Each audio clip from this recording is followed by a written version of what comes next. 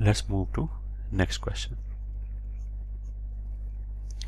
and that says prove that this determinant ka square is equals to this determinant is equals to this determinant is equals to this value ये ठीक है तो ऐसे ये तो कुछ ऐसे लिखा अल्फ़ा बराबर बीटा बराबर गामा बराबर डेल्टा ये प्रूव करना है सही तो हमने अल्फ़ा से शुरू किया zero C B C zero A B A zero ठीक है, इसका स्क्वायर मतलब this into this zero C B C zero A B A zero तो स्क्वायरिंग करने में एक तो ऑब्वियस सा चीज़ क्या आएगा कि स्क्वायरिंग हो रहा होगा।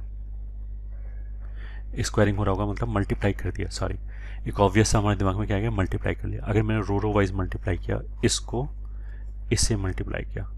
तो zero into zero C into C B into B तो एलिमेंट आ जाएगा B square plus C square ठीक है?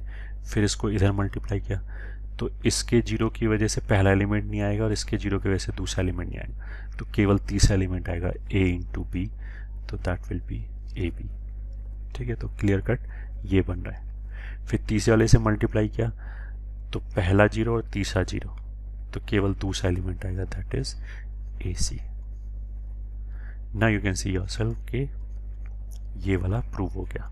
मतलब हमसे ने क्या प्रूव कर दिया? एल्फा इक्वस टू बीटा ये तो पहला प्रूव हो गया। ठीक है?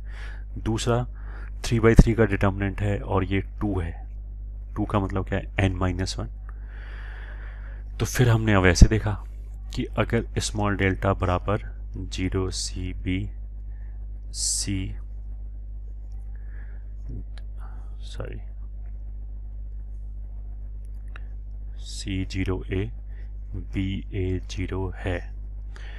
तो बिग डेल्टा क्या होगा? ठीक है। तो इस ज़ीरो का को फैक्टर हो जाएगा this into this minus this into this हो जाएगा माइनस ए स्क्वायर ये ठीक है, फिर इस सी का को फैक्टर ये हटा दिया, ये हटा दिया। बट को फैक्टर में ये वाला जो एलिमेंट है, वो कौन सा एलिमेंट है? वन टू तो इनका सम तो ऑड हो गया तो माइनस आएगा। तो माइनस लगाने की बजाय हमने क्या किया? पहले इसको मल्टीप्लाई किया this into this minus this into this तो फिर कितना आ गया? ए बी ये ठीक है? बी का ये हटा दिया, ये हटा दिया तो ए सी ना you can see this is nothing but this determinant ठीक है? तो यहाँ से ये कैसे प्रूव हुआ? सिंपली मल्टीप्लाई करके. यहाँ से ये कैसे प्रूव हुआ? यूजिंग द रिज़ल्ट कि बिग डेल्टा बराबर स्मॉल डेल्टा रेस्ट पर एन माइनस वन तो यहाँ पे वो थ्री माइनस वन बराबर टू हो गया तो डेल्टा स्क्वायर तो ये वाला प्रूव हो जाएगा। Rest of the values you can match yourself ये ठीक है you can calculate yourself and see this it is matching अब थर्ड थिंग आ गया four A square B square C square ये ठीक है, इसका वैल्यू तो वो हम वापस ओरिजिनल डिटर्मिनेंट से कैलकुलेट कर सकते हैं, जो zero C B C zero A B A zero this you can see is symmetric ये दोनों बराबर हैं। सी सी बराबर है। बी और बी बराबर है। तो शुरू में हमने कुछ इंपॉर्टेंट डिटर्मिनेंट्स का वैल्यू याद करने के लिए बोला गया था? तो उससे इसको डायरेक्टली इवेल्युएट कर सकते हैं। ठीक है? वो क्या था? ये तो ए बी सी की तरह काम करेगा और ये एफ़ जी एच की तरह काम करेगा। ठीक है? तो A B C plus two F G H तो that is A B C minus उसके बाद था A F square B G square C H square और इस वाले केस में ए बी सी तीनों ज़ीरो है। तो ए एफ़ स्क्वायर में ए की वजह से zero B G square C H square zero तो इसका वैल्यू कितना आ गया?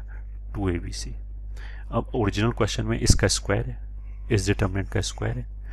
तो टू ए बी सी का स्क्वायर हो गया। तो टू ए बी सी का square will be four A square B square C square तो ये भी प्रूव हो गया। उसका मतलब क्या ये हमारा प्रूव हो गया कि चारों क्वांटिटीज आपस में बराबर है। I hope this is clear